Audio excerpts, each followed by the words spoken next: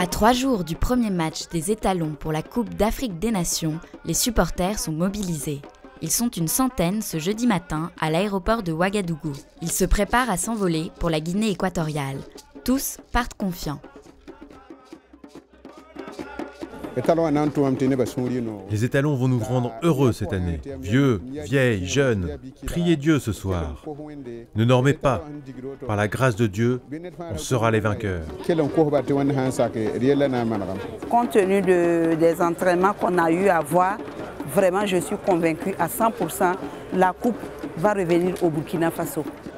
Le Burkina Faso fait partie du groupe B avec le Soudan, l'Angola et la Côte d'Ivoire, grande favorite de cette Cannes 2012. Mais pour le président de l'Union nationale des supporters des étalons, ces pronostics n'ébranlent pas l'espoir des Burkinabés. On a une équipe athlétique euh, de l'Angola euh, qui a aussi fait des progrès.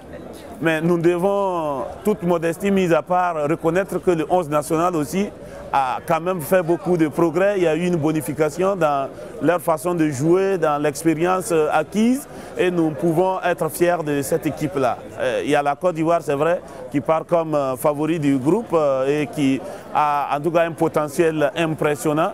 Mais nous avons joué plusieurs fois avec cette équipe. Nous savons que nous pouvons tenir tête à cette équipe, donc nous ne nous faisons pas trop de soucis ni d'illusions.